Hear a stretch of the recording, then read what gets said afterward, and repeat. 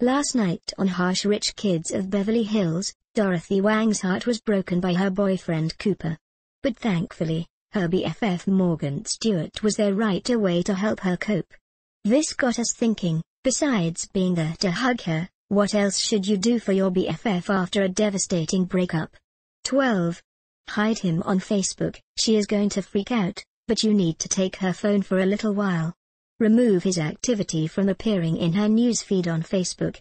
The last thing she needs to see is him having fun, even if he's faking it. She needs to think that he's crying in bed too. But the reason you don't want to delete him altogether is because he needs to see her out having fun, looking hot and adding new male friends.